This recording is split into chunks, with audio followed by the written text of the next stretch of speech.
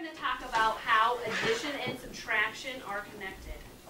So I'm going to put two problems on the board, and we're going to solve them. In the first segment, our teacher demonstrates a beginning level use of helping students process new content. She works on the board and explains to the class each step she is taking. However, she is not engaging the students or monitoring their understanding of the new concepts. So when we look at those, we can kind of see, I see three groups here. I see 468, 374, and 842. And over here I see 842, 468, and 374. They're connected.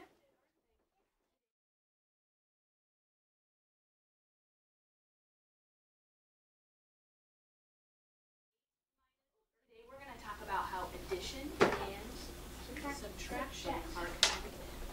So let's solve this problem. 8 minus, or 8 plus 4, well, let's do 468 plus 372. What's 8 plus 4? Um, Zach, what's 8 plus 4? Whoa. In the next segment, our teacher demonstrates a developing level of helping students process new content. As she works through the new content, she calls on students who are raising their hands, she asks and answers questions, and the class is engaged before they arrive at the answer. However, not all students are engaged, and she does not monitor each student's understanding of the new content. So when we saw that pattern before, we saw 842. And we saw 468.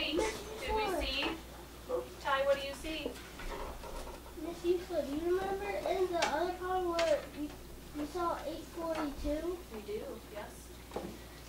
Yeah, so we see it again, don't we? It's the same three numbers. They're just mixed around, aren't they? Keith. We have a fact family. Ah, we have a fact family.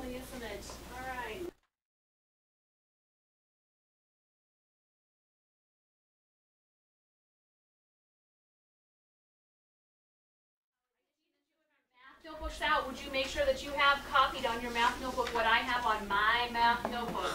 We have two problems. We're going to talk about how addition and subtraction are related.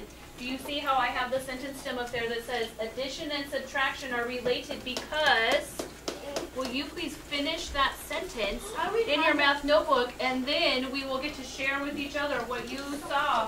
If you see a pattern, will you please write, I see a pattern and write about the pattern that you see.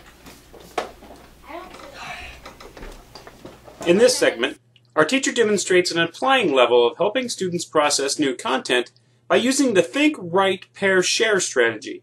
She has the students work independently to solve the problem while she walks around the class and monitors for understanding. She then has students pair up and share what they have learned with one another. During this process, she continues to monitor and check off which students are understanding the content and which are not.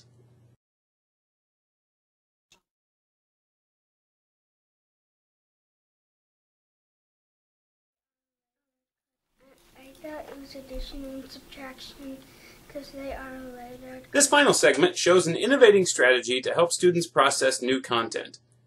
The student our teacher monitors has clearly demonstrated an understanding of new content earlier than his classmates. To further challenge the student while the others finish, she has him develop and solve his own example problem of the new content. So here's what I'm gonna have you do. I'm gonna have you come up with a math problem.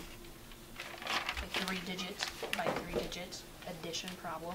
And I want to see if you can come up with the Do I come up with subtraction. them? You are gonna come up with the opposite fact that goes with it, that kind of makes that fact family like you talked about.